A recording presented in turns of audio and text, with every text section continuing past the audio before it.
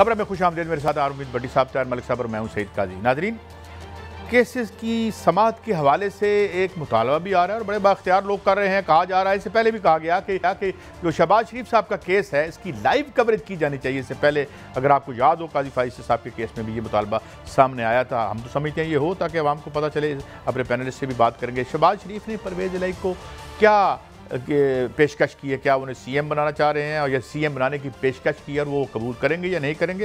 ये बात भी हम जेर बहस लाएँगे। इमरान खान कहते हैं 22 करोड़ अफराद में से सिर्फ़ 20 लाख अफराद टैक्स देते हैं विद होल्डिंग।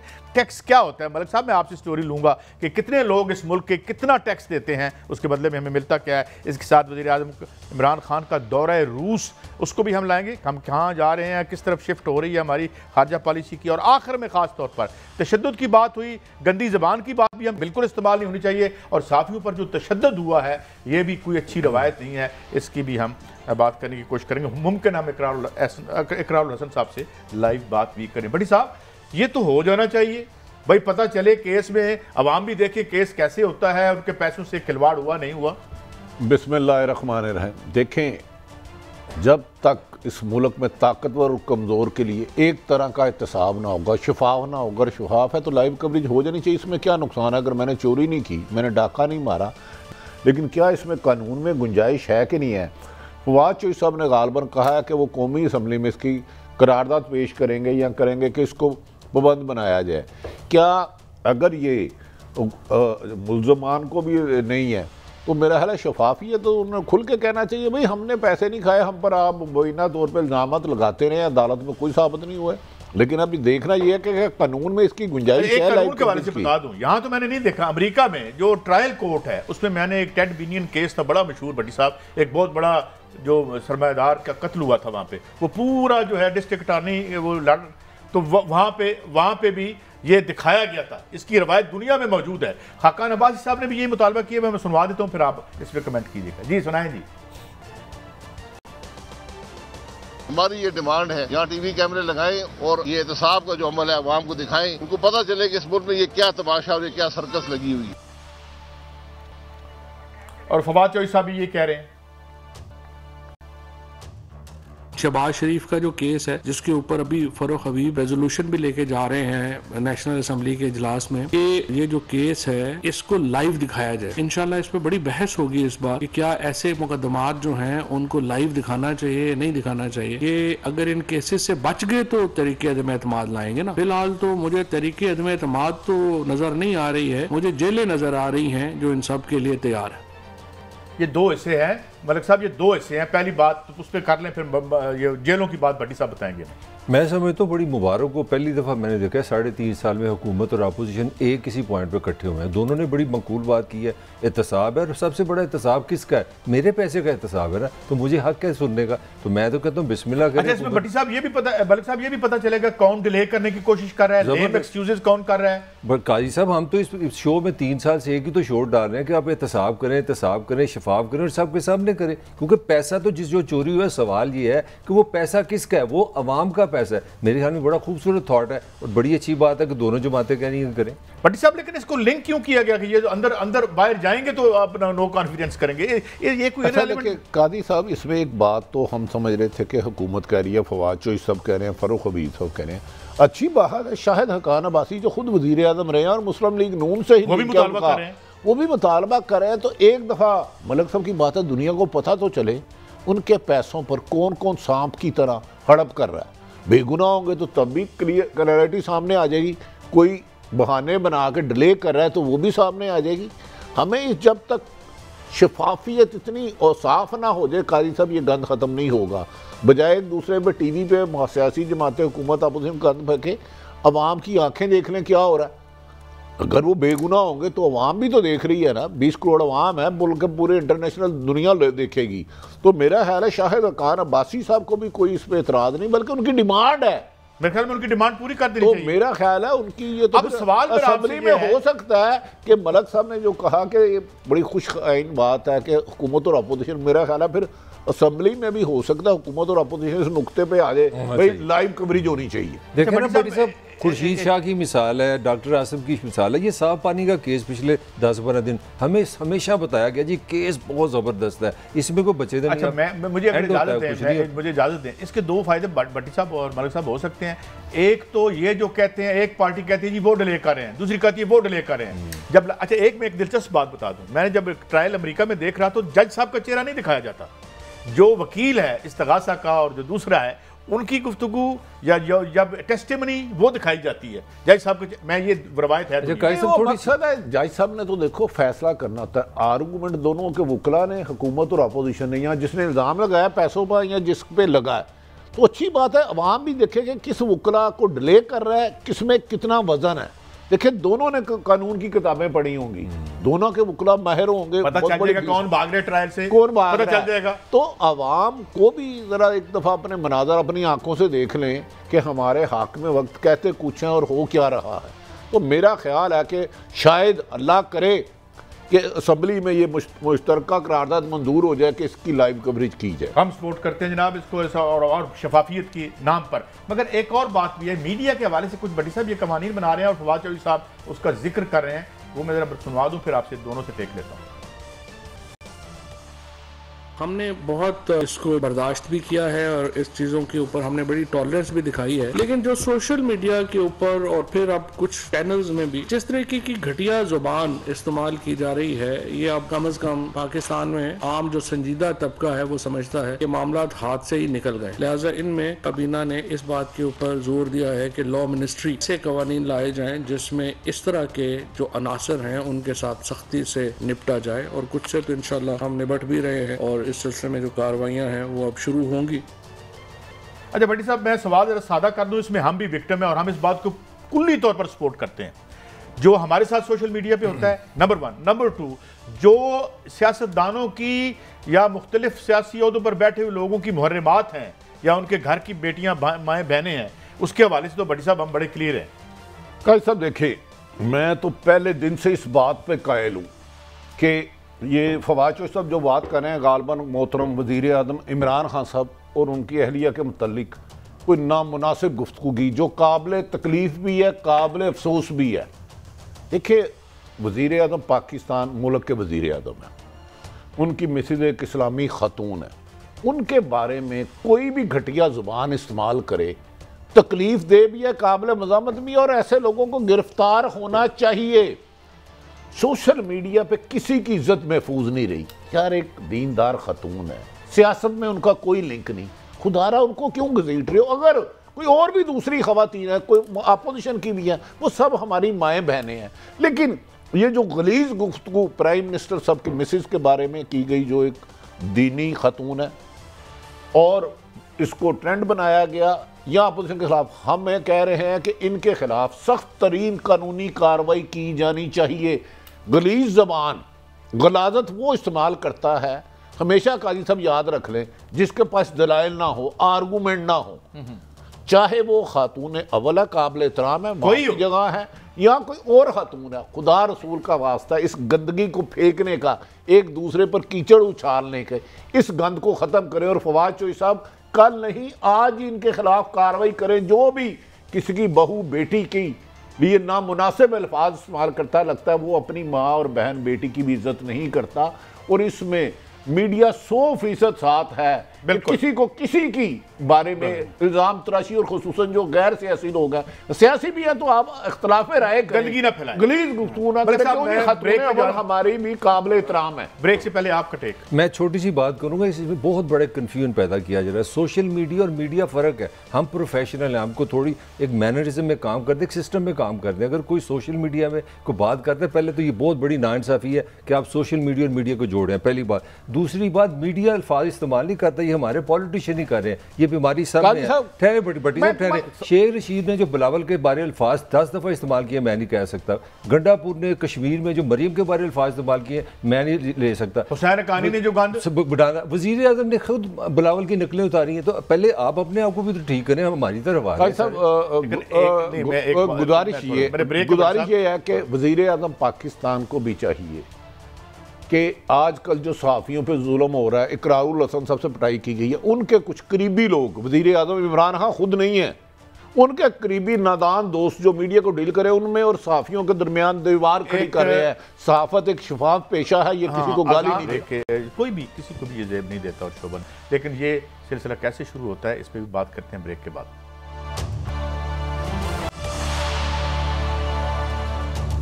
Welcome back. नाजरीन, एक और वाक़ और बड़ा बहिमाना वाक़ मैं ये कहूँगा जो हुआ और हम देखते हैं कि बड़ा पॉपुलर शो है हमारे दोस्त इकरार हसन जो हैं, वो एक शो करते हैं और उसमें खासा वो एक रिस्क भी लेते हैं मेरे साथ हमारे साथ हैं। Thank you very much for your time Iqrar साहब। मैं पहले तो ये चाहूँगा थैंक यू कि आप बहुत शुक्रिया आपने आपने हमें टाइम दिया और इतनी तकलीफ़ में टाइम दिया जबकि आपको आराम की ज़रूरत थी। लेकिन हमारे दिल धड़कते हैं आपके साथ और हमने इसलिए इसको टेकअप किया ताकि आइंदा इसकी पेशबंदी हो सके. अ, ये फरमाइए कि थोड़ी सी तफसील हमें बता दें। हाउ थिंग्स टुक प्लेस ये थोड़ा सा बता दें फिर मेरे पैनलिस्ट आपसे बात करेंगे। जी ज़रूर सर। बस मैं मुख्तसर ये अर्ज़ कर देता हूँ। देखिए कि जो भी मैं अभी गुजारिश करूँगा वो उस बात को बड़ी आसानी से निगेट किया जा सकेगा अगर मैं कोई गलत बयानी करूँगा या मैं कोई एक जुमला भी झूठ बोलूँगा। इसलिए कि हम बात कर रहे हैं इंटेलिजेंस ब्यूरो के कराची सदर दफ्तर की। तो उस दफ्तर में हर जगह सीसीटीवीज मौजूद हैं और अगर मैं कोई बात करूँ जो कि उन सीसीटीवीज में मौजूद रिकॉर्डिंग के मुखालिफ हो तो मैं झूठा साबित हो जाऊँगा, सरेआम मतलब उसमें तो कोई दूसरी कोई राय नहीं होगी। क्योंकि जो बातें मैं बता रहा हूँ ना, वो लोगों के लिए बड़ी हैरान कन है और नाकाबिल यकीन है, उन पर तो हैरत होती है कि ये कैसे हो सकता है। कि हम एक उनके इंस्पेक्टर की करप्शन की वीडियो की सबूत लेके अंदर गए और अब हमें अंदर बाद में कहा गया कि जी वो जी आपने सिक्योरिटी थी हमारी, उसको बाईपास किया। भाई सिक्योरिटी थी नहीं है तो इट सेल्फ एक सिक्योरिटी लैब्स है कि हम अंदर चले गए, हमें कोई रोकने वाला ही नहीं था। किसी ने पूछा ही नहीं हमसे।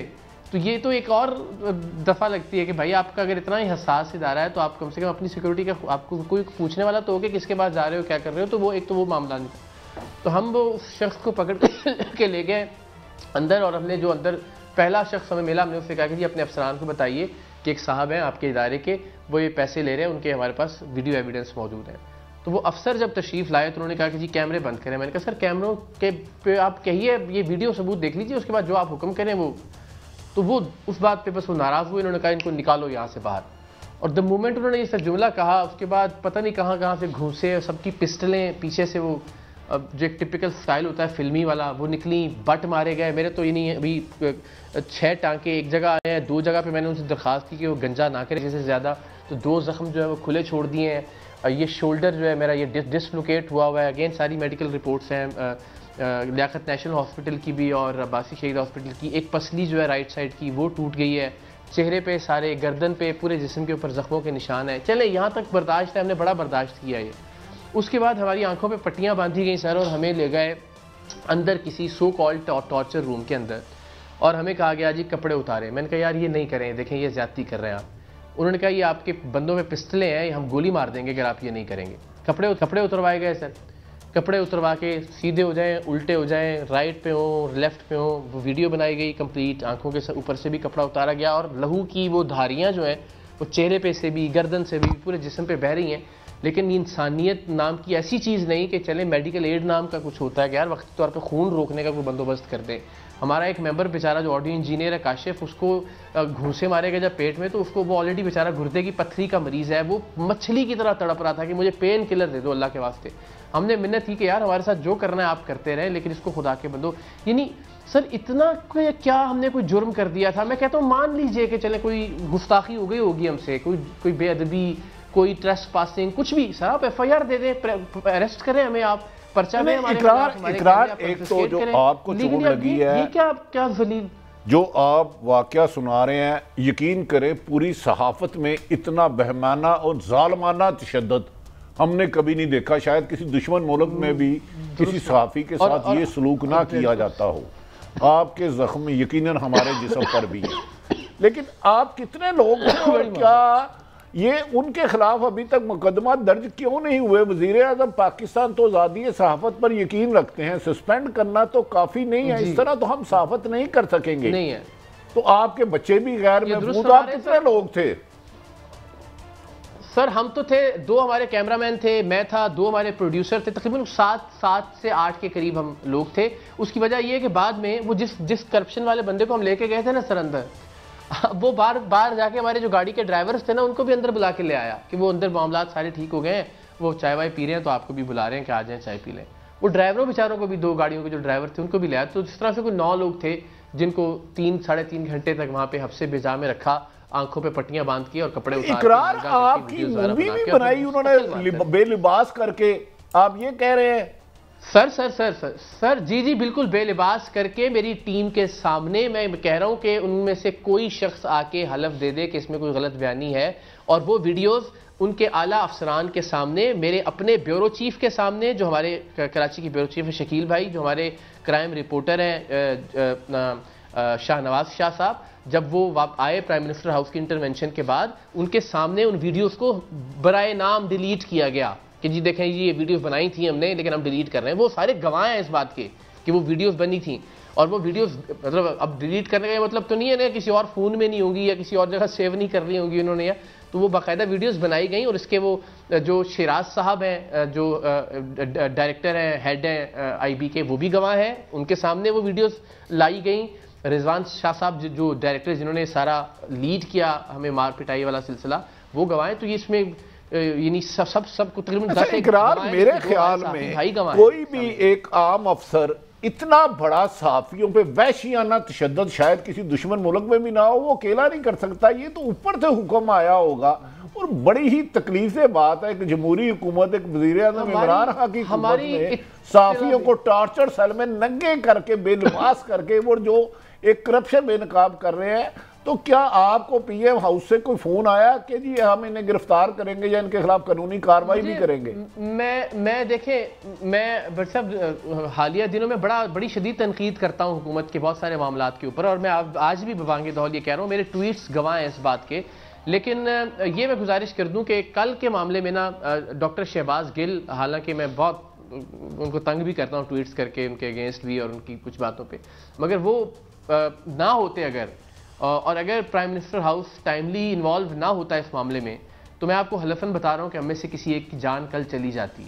तो ये तो कल एक एक पॉजिटिव रोल तो वो किया गया, आप ज़रूर प्ले प्राइम मिनिस्टर लेकिन ये बात ठीक है आपकी कि ये अनटिल के डीजी इस्लामाबाद या डीजी सिंध की उनकी ईमान ना होती तो चले, ठीक है, आपने वक्ती एक गुस्से के अंदर चार मुक्के मार दिए पिस्टल का बट मार दिया, कर लिया, लेकिन उसके बाद साढ़े तीन घंटे तक आप नंगा करके रखें, आँखों पे पट्टियाँ बाँध के रखें वीडियोस बनाते रहे, नंगा करके।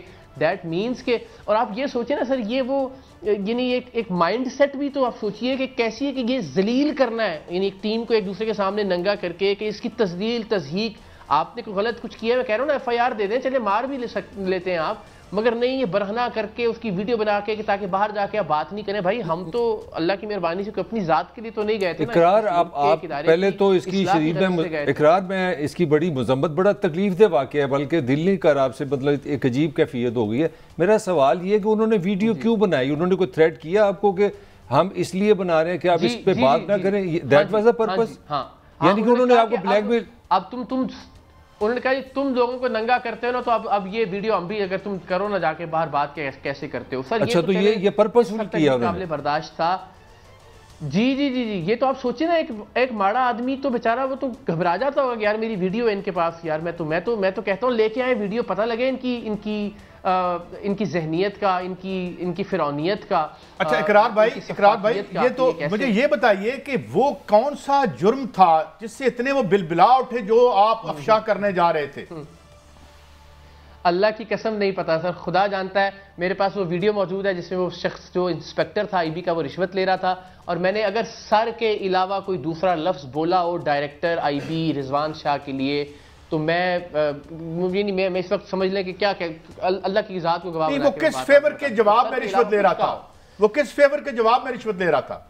सर वो वो वो सर वो ना ये इनका ये जो नादरा के साथ कोई एक एक मामला है कि आपका अगर फ़र्ज़ करें कोई बंगाली का पा, पासपोर्ट है या कोई आपकी फैमिली ट्री में कोई गलती से कुछ आ गया है तो उसकी जो वेरिफिकेशन करनी होती है वो इंटेलिजेंस ब्यूरो ने करके इंक्वायरी रिपोर्ट जमा करवानी होती है नादरा को। तो वो एक फैमिली का एक मामला इनके पास पासपोर्ट का फंसा हुआ था। उस फैमिली को इन्होंने कहा कि जी, इस बंदे ने कहा कि जी, मैं इतनी रिश्वत लूँगा तो आपकी इंक्वायरी रिपोर्ट बना के दूँगा। उस फैमिली ने हमें अप्रोच किया और हमने फिर उसकी वो वीडियो रिकॉर्डिंग की पैसे लेने की सारी। तो वो रिकॉर्डिंग थी जिसकी बुनियाद पर हम चाह रहे थे कि वो जो डायरेक्टर है, जो कि बाद में बदमाश और गुंडागर्दी पे उतरा है बड़ा सर, अभी तो ये, अभी एक पहलू मैं ज़रूर चाहता हूँ, जो मेरी टीम के दो मेंबर हैं, वो इस वक्त भी हॉस्पिटलाइज्ड हैं। हम सबको करंट लगाया गया, वो जो एक बाकायदा करंट होता है, लेकिन वो जो दो मेम्बरान थे, उनके जो नाजुक आज़ा हैं, उन पे वो करंट लगाया गया, और इस वक्त भी वो बेचारे ब्लीडिंग कर रहे हैं, मुस्तकिल कॉन्स्टेंटली कल से लेके अब तक। ये पता नहीं क्या, कौन किनी अच्छा नहीं, मैं कह रहा हूँ ना, बता तो दें हमने कौन सा जुर्म कर दिया था। अपनी किसी सीसीटीवी फुटेज से लाके दिखाई दें कि ये देखें जी, ये बदतमीजी कर रहे थे, या ये देखें जी, ये लड़ाई झगड़ा कर रहे थे, या ये देखें जी, इन्होंने हाथ उठाया। कोई तो कोई तो जुर्म साबित कर देना, कोई एक एक फुटेज तो सर ले आए ना। मतलब ये तो बड़ी आसानी से हमारी हर बात निगेट हो सकती है ना। हमारी तो हमारी अपनी रिकॉर्डिंग भी उनके पास ही पड़ी हुई है हमारे कैमरे भी उनके पास हैं अभी तक। उन्हीं रिकॉर्डिंग्स में से साबित कर दें कि यार हमने कोई गलती की थी या हमने कोई गुस्ताखी कर दी थी ज़िले इलाही की बारगाह में कि जिसकी सज़ा मिली कि आपको नंगा करके करंट लगाया जाए आपके जिसम के आज़ा के ऊपर आपकी टीम मेम्बरान तड़पते रहे वहाँ पे जो गुर्दों के मरीज़ हैं और उनको पानी तक ना पिलाया जाए। अच्छा इकरार ये तो फौजदारी केस बनता है किसी को फिजिकली हार्म करना तो कोई केस दर्ज हुआ है उनके खिलाफ या सिर्फ़ वो सस्पेंड हुए हैं? सर मुकदमे के इंदराज के लिए जो मेरे चैनल की इंतज़ामिया है उसने तमाम जो हमें ज़ाहिर जो लीगल डॉक्यूमेंटेशन चाहिए थी मेडिकल लीगल रिपोर्ट ये मेरी हड्डियाँ टूटने की मेरे सर के टांके लगने की और उनके जो मखसूस आज़ाएँ मेरे दो टीम के मेम्बरान के उनको करंट लगाने की वो हमने तमाम तर कलेक्शन कर लिया और बस किसी भी वक्त ये कानूनी कार्रवाई इनशाला हुआ चाहती है। बाकी आगे फिर ज़ाहिर देखिए भट्टी साहब ये दहशत गर्दी का अच्छा इकरार ये तो दहशत गर्दी का मुकदमा है एक तो साइबर क्राइम बड़े एक्टिव कर रहे हैं तो किसी शख्स को जो सहाफती ज़िम्मेदारी दयानतदारी से अदा कर रहा है उसकी फाश फ़िल्में बनाना गन पॉइंट पे बनाना ये तो बड़े संगीन मुकदमा आता है ये तो नॉन अवेलेबल है। ये तो सेवन एट ये लग सकती है जिसको बेमाना तरीके से उन्होंने आप सब लोगों के साथ किया मेरे से बोलना ईमानदारी से बात करो मुश्किल हो रहा है। नहीं आप आप आप मोहब्बत करते हैं मुझसे मुझे अंदाज़ा है जब आप इदारे में भी हमारे साथ भी थे तो बड़ा आपका शफकत का एक रवैया मुझसे हमेशा रहा। और मैं अंदाज़ा कर सकता हूँ कि आप वाकई दिल से इस तकलीफ़ का इजहार कर रहे हैं। आ, सर अब देखिए अब अब तो इम्तिहान सिस्टम का है। अब निज़ाम पे सवाल है हम तो अपने तौर पे मलक साहब हम तो वज़ीर आज़म पाकिस्तान साहब से रिक्वेस्ट कर सकते हैं कि खुदारा ऐसी वैशियाना हरकत आज तक किसी डिक्टेटर दौर में इमरान खान साहब हम आपसे तो करते हैं चीफ जस्टिस साहब आपसे तो करते हैं सहाफ़ी। कलम और निशानदेही करते हैं। हमारा काम असला उठाना नहीं है। खुदारा हमें इस तरह दुश्मन मुल्क समझ के ना मारें। इकरार को लगी है या ड्राइवर को लगी है इस तरह हमारे साथ जुल्म ना करें। और इकरार जो है वो तो काज तो इमरान खान साहब का ही है। आ, हाँ, एक तो अगर तो, तो इमरान खान साहब जिस बुराई को करप्शन के खिलाफ लड़ रहे हैं उस करप्शन को एक्सपोज करना अगर जुर्म है तो फिर इकरार इकरार में आपके आपके बात करना चाह रहे हैं। आप थोड़ा मेरी भी जरा बात ऐड कर लीजिए। आपके एक्सपीरियंस से मैं जानना चाह रहा हूँ। आप पाकिस्तान में एक नोन फेस है मैं इस पर कोई एग्जेजुरेशन नहीं कर रहा। ये किस तरह हो सकता है कि एक इदारे के बंदे को पता ना हो कि आप एक चैनल की एक शक्ल है पाकिस्तान मीडिया का फेस है इसका मतलब है आप समझते हैं ये मैसेज पूरी कम्युनिटी के लिए पूरे जर्नलिज्म के लिए डू यू थिंक सो दुरुस्त बात बिल्कुल। हाँ के जी आपकी ज़रूरत ये सवाल ये मसला ये ना कि सवाल करने की ज़रूरत आपकी आप आप आपकी औकात कि आप एक डायरेक्टर आईबी से और सर ये माइंडसेट जो है ना ये कोई एक दो दिन में तो नहीं बना होगा ना? आप सोचें वो एक रैंकर ऑफिसर है नाइनटीन ग्रेड के। इसका मतलब है वो कितने सालों से कितने लोगों को नंगा करते आए होंगे, कितने लोगों की वीडियोस बनाते आए होंगे, कितने लोगों को बट मारते रहे होंगे, कितने लोगों को माँ बहन की गंदी गलीज गालियाँ देते आए होंगे तो उनको ये कॉन्फिडेंस मिला होगा। कि मैं इसको भी ऐसी की तैसी कर दूँगा तो कुछ नहीं बिगाड़ सकता। इतना तो चले कोई मामूली साफी जो है मुझ जैसा वो बेचारा बाहर जाके शोर तो मचाएगा ना कुछ ना कुछ तो करेगा लेकिन वो खौफ भी नहीं था अगर तो आप सोचिए कि वो माइंड सेट कितने अरसे में मज़बूत हुआ होगा और इस दौरान एक आम पाकिस्तानी के साथ रोज़ाना की बुनियाद पर क्या कुछ होता होगा ये सिर्फ़ एक इदारे की मिसाल है बाकी आप सोच लीजिए कि इकरार हम आपके साथ हैं एयर भाई के साथ है महाद यूसुफ साहब से भी मेरी बात हुई थी लेकिन मुझे दुख है। जी बिल्कुल यार इतना वैशियाना तशद उन लोगों के पास जिनके पास कलम है या इख्तलाफ की राय है खुदारा इस जुल्म को रोके हुकूमत। खुदा साहब एक मैं बात इसके खिलाफ कार्रवाई करे। सब आपको और कादी साहब अनबिलीवेबल है कसम से अनबिलीवेबल ये मौके पे हीट ऑफ़ दी मोमेंट में हुआ है या प्री प्लान लगता है आपको इकरार? मलक साहब तीन तीन घंटे का सब मूवी बन रही है। चार थप्पड़ मारे। चार थप्पड़ मारे दो गालियाँ निकाले हीट ऑफ़ द मूवमेंट उसके बाद बिठा लेंगे। यार भाइयों यार खैर है ये हीट ऑफ़ द मूवमेंट तो चलें ये है ना सर? तो ये तो हीट ऑफ़ द मूवमेंट नहीं है कि साढ़े तीन घंटे नंगा करके बिठाए रखें और वीडियो बनाते ये एक प्लान है सिर्फ़ ज़मीन पे ज़मीन पे साफत को इकरार को नहीं। मैसेज है ये। ये पूरी साफत बरादरी को एक मैसेज दिया गया है कि हमारे खिलाफ हाँ। बात करोगे तो ताकत से कुचल देंगे सवाल खत्म है। हम्म। तो वज़ीर कादी साहब हम्म। ये तो पूरी कम्युनिटी को बाहर आना चाहिए। एक बड़ा खुश आइंद है कि हुकूमत ने ये इसका इकदाम लिया है और उसके बाद अगर ये आगे हम देखते हैं कि जब आपके ये मेडिकल पहुँचेंगे और उसके बाद केसेस साहब। कादी साहब ये वज़ीर अजम को भी चाहिए कि अगर उनके इर्द गिर्द जो लोग उनके और मीडिया के दरमियान नफरत की दीवार खड़ी करें उनके खिलाफ भी कार्रवाई करें। वज़ीर आज़म पूरे मुल्क के होते हैं हमारे भी हैं। अब इकरार के बाद कौन जुरत करेगा कि करप्शन की निशानदेही करने का जब आठ नौ बंदों को यरगवाल बना के यार साहब आपके ज़ुबान भी नहीं मुझे याद आ रही है कोई सरकारी मुलाजमिन के बगैर आपका एक एक हाइपोथेसिस होता है कि आप करप्शन में सरकारी मुलाजमों का हाथ हमेशा होता है। ये देखिए ये तो टेररिस्ट निकले हैं ये, तो, तो कमाल हो गया मैं, मैं इन्हें महाफज नहीं मैंने अपनी ज़िंदगी में महाफज के नाम पर अगर लोगों की इज्जतें उछालना और सहाफियों को जान से मारने की कोशिश करना क्या आपका जो एक ब्रांड और एक तरीका कार है आप इस पर आप जारी रह सकेंगे या कोई खौफ मैं खुदा एक पूछ रहा हूँ नफसियाती तौर से आपकी शख्सियत पे कोई उंगली नहीं उठा रहा। ज़ाहिर है मेरे साथ होता तो मैं रीथिंक करता। ज़्यादा और ज़्यादा ताकत से और ज़्यादा कुवत से और ज़्यादा दयानतदारी से और ज़्यादा ईमानदारी से और ज़्यादा ऑब्जेक्टिविटी से इंशाल्लाह आप देखेंगे। कि हम इस काम को जारी और सारी रखेंगे। हाँ जहाँ कहीं गलती भी होगी कोताही भी होगी आप जैसे सीनियर मौजूद हैं भट्टी साहब हमेशा शफकत भी करते हैं रहनुमाई भी करते हैं उनसे गाइडेंस भी लेंगे। लेकिन काम छोड़ने वाला तो सर सवाल कल के बाद तो सवाल ही पैदा नहीं होता। कल तो एक नई ज़िंदगी अता कर दी है आ, मुझे उन्होंने। अब यानी अगर मैंने ये मैं अगर इसलिए नंगा हुआ हूँ और नंगा होकर मैंने वीडियो बनवाई है कि मैंने सहाफत छोड़ देनी है और ये काम छोड़ देना तो बहुत लानत है मुझ पर सर। सर इसके बाद तो इनशाला जितने भी करप्ट हो गए उनको और ध्यानदारी के साथ बेनकाब करेंगे और उनको नंगा करेंगे उस सिस्टम को नंगा करेंगे जिस सिस्टम की वजह से हमारी आने वाली नस्लें जो है वो इस, इस मुल्क के अंदर गैर महफूज है। तो अब तो सर अल्लाह ने कहा मैं आपके आज़म को भी सलाम करता हूँ और मैं आपके साथ इजार यकजहती भी करता हूँ और हर मजलूम और हर जो इस तरह लड़ाई लड़ने हम उसके साथ खड़े और, और अपील करते हैं गवर्नमेंट से भी और दरख्वास्त भी और मुतालबा भी है कि इनकी अशकशोई की जाए वक्त कम था। मैं इजाज़त आपसे इजाज़त लूँगा और एक ब्रेक की तरफ़ जा रहे हैं नाजरीन। ब्रेक से वापस आएँगे तो कुछ और बातें भी करेंगे एक ब्रेक के बाद।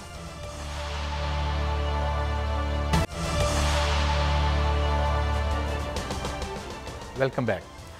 बटी साहब अब शहबाज शरीफ साहब ने की तरफ़ की तरफ़ से कहा जा रहा है कि उन्होंने परवेज अली साहब को कोई पेशकश की है। तो आपका क्या ख्याल है? परवेज अलाई साहब को ये पेशकश उन्होंने कुछ अर्सा पहले भी की थी जब हैदर वाई सब वजी अला बन गए थे। कुछ तो, अर्सा नहीं मेरा ख्याल इसमें को पच्चीस तीस साल पच्चीस तीस साल हाँ, पुरानी बात है। तो अब बहुत कुछ बदल गया है। देखें कादी साहब सियासत में कोई बात भी हमेशा ख़त्म ही नहीं होती बदकिस्मती है फिर इकरार जैसा और सरकारी इदारों को इस्तेमाल करके सहाफ़ियों को कुचला जाता है। अब मुझे बताएँ ये जो गए हैं मोहतरम शबाज साहब काफ लीग के पास स्पीकरशिप है पंजाब की। दो वजारतें हैं, दो वफाक में और वजारत आला से और कम क्या देंगे उनको? इससे ज़्यादा और क्या देंगे? स्पीकरशिप है ना। हाल ये वज़ीर तो नहीं उन्होंने कहा होगा, मैं बन जाता हूँ। परवेज अली सब सीनियर मोस्ट हैं, मुल्क के कामयाब तरीन वज़ीर आला रहे हैं। अब, अगर ये सारा मामला तय हो गया, मुझे तो लग रहा है कादी साहब आहिस्ता आहिस्ता अदम अतमाद के जोश में कमी आ रही है। मुझे बादी नज़र में ऐसा लग रहा है। गो के अब एक तला ये आई है कि पहले स्पीकर के पास खिलाफ जाएगी। अदम अतमाद क्योंकि वो खुफिया राय शुमारी होती है यहाँ पंजाब में। जिस तरह खुफिया राय शुमारी सैनट में हुई थी। हाँ तो अब वो इसी की गारंटी दे रहे हैं कि सैनट में जो हुई थी वो ना दोहराई जाए और पंजाब में। इसीलिए आज जहांगीर तरीन ग्रुप ने भी मुलाकात की है और कहा जा रहा है कि जहांगीर तरीन ग्रुप की कहाँ मुलाकात हुई है बटी साहब? आज आपस में ओन चौधरी अपना बुला रहा है जो मेरी इतला है जो आज़ाद कैंडिडेट हुए थे और बाद में पीटीआई में हुए थे। उनकी शबा हमजा शबाज साहब से रबते हुए हैं और उन्हें यकीन दहानी कराई गई है कि आइंदा उनको टिकट भी देंगे। अब कामयाब होते हैं या नहीं होते मुझे नहीं पता। सुना जबान भी खोलने वाले हैं कुछ बात भी करने जा रहे पर तरीन साहब। देखें अब ये गेम गुडी गुडा अदम अतमाद आ रहा है नहीं आ रहा ज़्यादा नहीं होगा। अब मेरा ख्याल है इस फरवरी में इसका ड्रॉप सीन हो जाएगा अदम अतमाद आना या नहीं आना। तो अगर ये पेश न, नहीं करते अगर नंबर गेम पूरे होते तो मेरा भी पहले दिन से है तो भाई पेश कर दें। क्योंकि जब पेश कर देंगे तो फिर वज़ीर अजम असम्बली नहीं तोड़ सकेंगे। फिर काइन के मुताबिक इन्हें अदम अतमाद के एक सौ बहत्तर लोग पूरे करने हैं। और मेरा ख्याल है एक सौ बहत्तर लोग अपोजिशन के पास अभी पूरे नहीं हुए जो मेरी इतलात है। क्योंकि इनका पूरा ज़ोर था कि हुकूमत के इतिहादी जमातों से। कल वो मोनस लाई साहब इनके आगे आके खड़े हो गए दीवार बन के। और अभी तक ना एम क्यू एम अलग हुई है, ना बा पार्टी अलग हुई है, ना जी डी अलग हुई है। तो इसके होते हुए एक सौ बहत्तर बंदे, बाकी मलक सब ज़्यादा साहिब इलम है। मुझे लग रहा है कि ये किसी बड़ी चीज़ का इंतज़ार कर रहे हैं, जो फैसला होना है उसका। लेकिन अगर ये अदम अतमाद नहीं लाते और इमरान खान साहब, यकीनी बात है, दो हज़ार तेईस तक वज़ीर अजम है तो फिर दो हज़ार अट्ठाईस में तेईस इसके बाद भी वही होंगे। अगर अपोजिशन अब पीछे ठीक। खकान अब्बासी साहब का एक शॉर्ट मलिक साहब फिर आपसे कमेंट ये जब टेलीफोन कॉलें बंद होंगी तो अदम एतमाद उसी दिन हो जाएगी। ये सारी सियासत की हकीकत है कि आज हुकूमत जो है वो टेलीफोन कॉलों पर खड़ी है। वैसे मैं इतना अर्ज़ कर दूँ आपको कमेंट लेने से पहले खुदा का शुक्र करें टेलीफोन कॉलें भी हैं वरना आप यहाँ होते आज। बहरहाल मलिक साहब आपसे मैं बात करता हूँ। ये मुझे बताएँ कि ये जो ये सारा है अभी तक तो नौबत आई है कि चौदह साल बाद चौधरी साहबान के पास जाना पड़ गया। अब आगे कहाँ कहाँ हमें वक्त लेके जाएगा? मेरे नाम तो दायरे में घूम रहे हैं। अगर अगर अच्छा? अगर अगर बहुत संजीदा आपने गुफ्तु करनी है तो फिर अदम एतमाद इस सोसाइटी का मसला है। संजीदा लग रहा हूँ। नहीं थोड़ा सा लगे ना मुझे संजीदा लगे। मैं थोड़ा मैं भी संजीदगी कर लूँ। मेरा पॉइंट अगर वाकई पाकिस्तान का मसला अदम एतमाद है तो मुझे कोई सोलूशन अपोजिशन के पास चले मैं आपसे सवाल करता हूँ और फिर भट्टी साहब से ये सवाल। चले। ऐसे तो हम आने वाले और गुजर जाने वाले तीन चार साल भी देख चुके हैं। लेकिन मलिक साहब आप, आपकी तरफ़। देखिए मैं पॉइंट उधर यार मोने सलाई हो। कोई और नवाज़ से हो पीटीआई से हो ये तो किसी की आप क्रेडिबिलिटी नहीं ला सकते। मौलाना हो ये तो क्रॉस द बोर्ड पोलिटिकल हमारी डिज़ीज़ है ना। जो हमने कहना उस पर हमने खड़ा नहीं होना। और इतने ज़्यादा एग्ज़ाम्पल से सारा प्रोग्राम खत्म हो जाएगा। प्लान इनका ये है जो अपोजिट की आधी आपने खबर दी है जो खबर आई है ना कि परवेज़ लाई साहब को ऑफ़र किया कि आप सी एम बनेंगे। साथ ये वादा भी किया कि ये मोहब्बतें आप सच्ची हैं ये पक्की हैं। अगर इलेक्शन अगले भी होंगे मैं हम आपके साथ होंगे। क्योंकि भट्टी साहब वाला बड़ा किसने वादा किया ये शहबाज शरीफ साहब ने कहा कि हमारे जैसे गुमशुदा भाई थे ना अब दोबारा मिलने तो मोहब्बतें असल असल जो प्लान है वो हमने पहले भी इस तरह डिस्कस किया था। खबरें अपोजिशन के अंदर की खबरें ये है कि बाईस के करीब पी टी आई के नाराज़ लोग हैं जिन्होंने कमिटमेंट की हुई है। और कमिटमेंट वही है कि स्पीकर का जब इलेक्शन होगा बाईस लोग उसमें हिस्सा नहीं लेंगे। मेरा सवाल है जो जो कुछ लोग नाराज़ मुस्लिम लीग नून के अंदर हैं। जिनका वोट किसी और सदूकची से निकल आता है हम्म। उनका कोई पता है?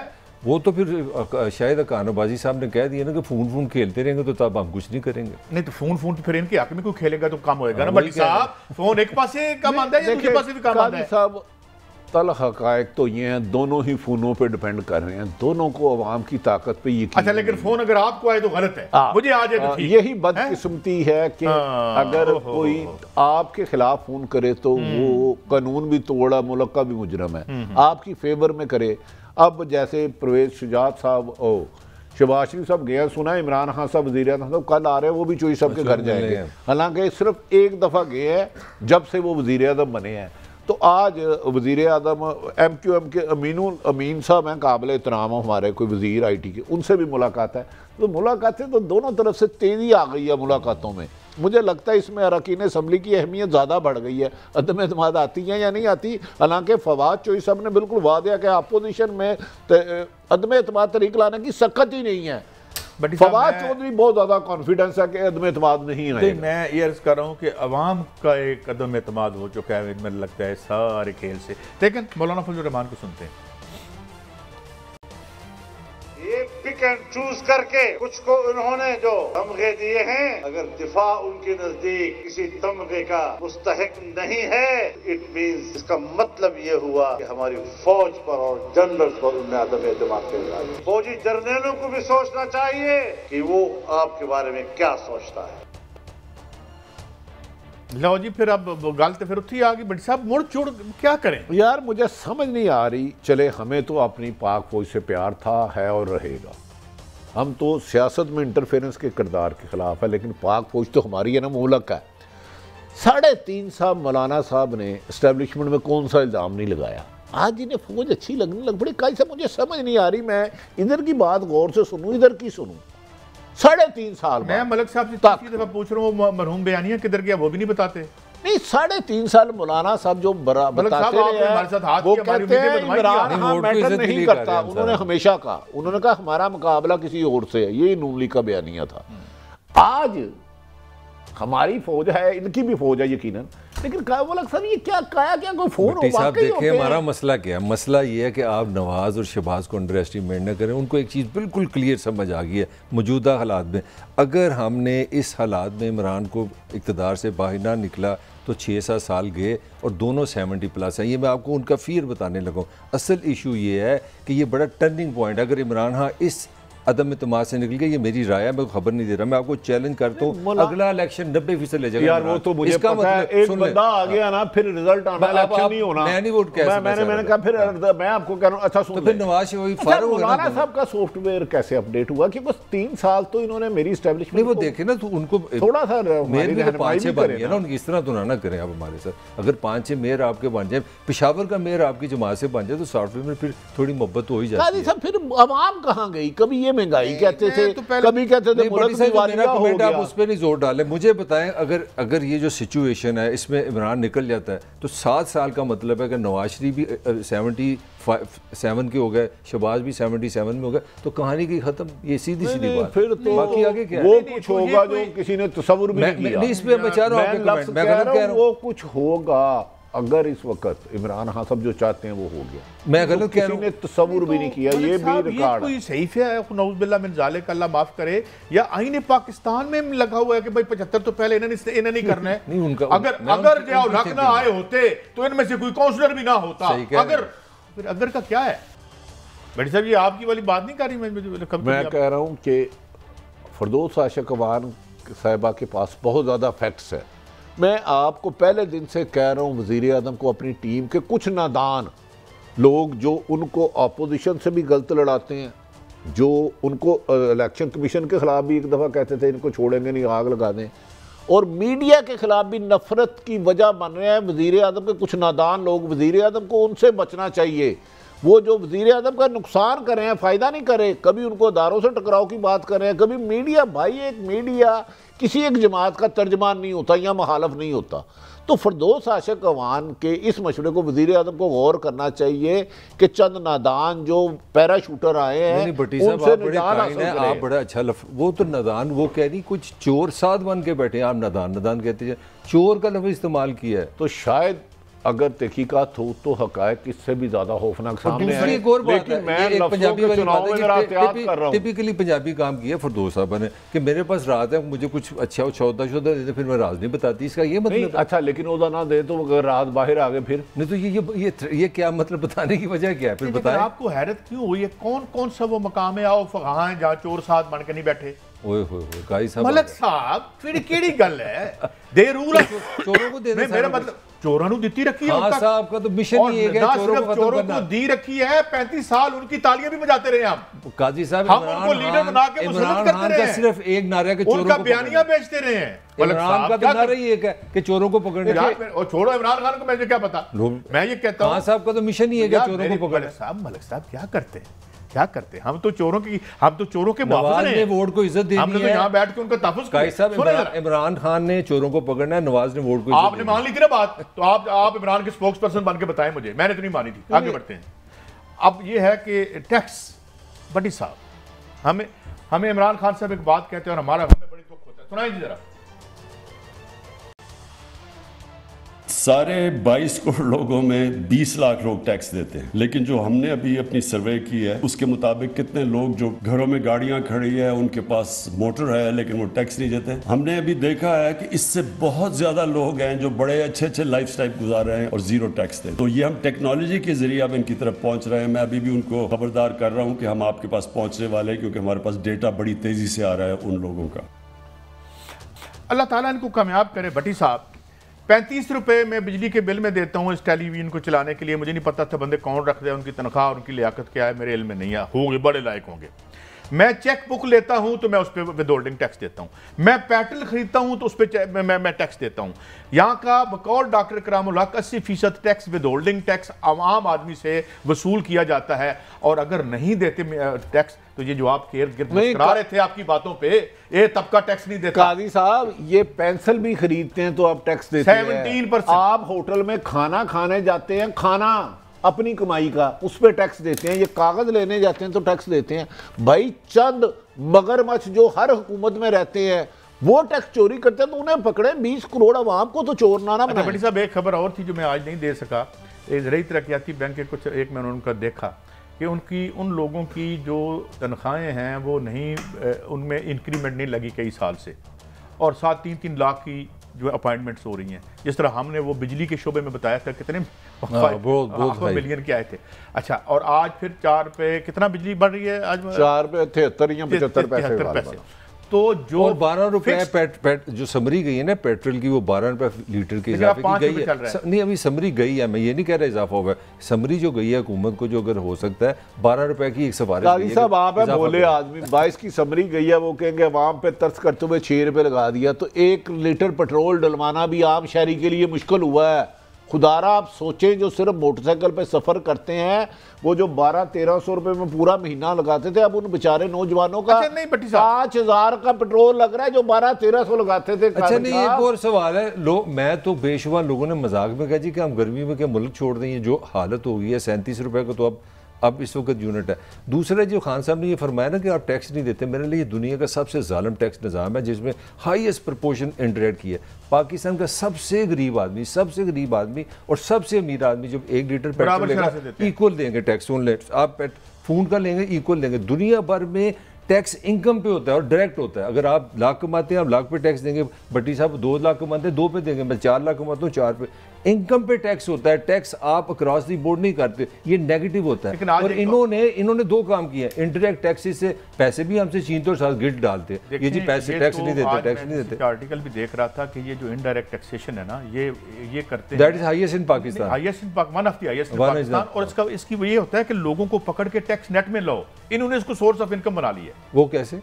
देखिए कि जी आप आप विद होल्डिंग टैक्स लगाया आपने। हमने देखा जी आप बार बार जो है बाहर जा रहे हैं आपके टिकट पे टैक्स लगा हम आपको पकड़ेंगे कि यार आप अमेरिका जा रहे हो यूरोप जा रहे हो की कम करते हैं? तुम्हारी आमदनी कितनी है? तो आप विद होल्डिंग टैक्स के ज़रिए डिटेक्ट कर सकते हैं और याद होगा 2013 में जब इसाक डार आए थे तो उन्होंने कहा था मेरे पास पता नहीं 11 मिलियन लोगों की या कितने लोगों की लिस्ट है और मैं करूँगा। बाद में उन्होंने मनी लॉन्ड्रिंग के मतलब है कि साहब दूसरा वज़ीर अजम साहब पहले भी कई दफ़ा फरमा चुके हैं कि अब हमने कंप्यूटराइज सिस्टम कर लिया हमें पता है तो उस भाई साढ़े तीन साल जो नहीं टैक्स दे रहे और वाकई इनकम है उनकी उन्हें देना चाहिए यकीनन सौ फ़ीसद देना चाहिए। लेकिन इसमें पूरे बीस करोड़ आवाम को चोर ना बनाए। चंद बड़े खानदान मगरमच्छ पकड़ ले आईपीपी के पैसे निकलवा ले फालतू ना दें तो काजी साहब टैक्स देने की ज़रूरत अच्छा एक छोटी सी कॉमेडी भी है काजी साहब ये जो एफ़ बी आर है जो महकमा रेवेन्यू जो टैक्स कट ये जितना टैक्स ये इकट्ठा करते हैं उससे ज़्यादा तनख्वाहें ले जाते हैं। यानी कि अगर ये महकमा खत्म कर दे रहा तो मैच बराबर का है। यानी कि ये जितना टैक्स हमसे लेते हैं बाकी तो इंटरेक्ट है वो तो आपने देना ही देना ये जो इकट्ठा कलेक्शन करते हैं इतना तो इनका अपना खर्चा है। और अब जैदी साहब वो जो आपके चेयरमैन है। एफ़ आर के उन्होंने कहा ना कि मैं इन लोगों से काम नहीं मैं कर सकता। ये रिजाइन ये हमारे हमसाए में केजरीवाल ने वहाँ पे पानी मुफ़्त कर दिया है बिजली मुफ़्त कर दी है स्कूल मुफ़्त कर दिए।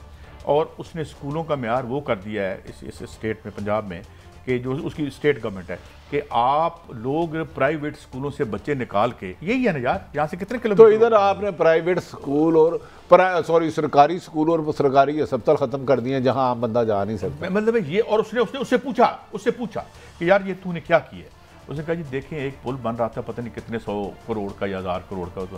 वो कहते थे हमने उसको ऑडिट किया करोड़ का वो मैंने भी सुना उधर से इतने में इतने पैसे बचे हमने पानी फ्री कर दिया। अब वो मॉडल उसका हालाँकि पूरा बीजेपी ज़ोर लगा रही है। इलेक्शन तो आ रही है इस दफ़ा सात स्टेटों में मेरे ख्याल में। आगाज़ जो हुआ है बीजेपी का। लेकिन सवाल ये है कि ये काम किए जा सकते हैं मगर इसके लिए ज़रूरी क्या है? कि वहाँ कोई हमारा भी बंदा बैठा हो वहाँ पे शौकत तरीन साहब बड़े प्यारे मेरे मैं बड़ा फ़ैन हूँ उनका मगर वो अपने तबके के ही अच्छा एक काम और किया पूछेंगे ना बड़ी साहब पंजाब मेरे तबके और दिल्ली गवर्नमेंट ने एक और काम किया उन्होंने चैरिटी देनी भाई टैक्स दो। ये चैरिटी के नाम पे वो आप अपना टैक्स भी चोरी करें चैरिटी के बारे में एक बात। पाबंदी बात ये है टैक्स दो सारे। देखें चैरिटी तो बड़ी अच्छी बात है किसी की अगर मदद कर दी जाए मगर हमको अब्दुस्तारे दी की वहाँ ज़रूरत पड़ती है जहाँ रियासत फेल हो गई हो। तो इसलिए मेरे ख्याल में राइट दें हमें खैरात ना दें। आज का प्रोग्राम खत्म हुआ कल फिर मिलेंगे अल्लाह हाफिज़।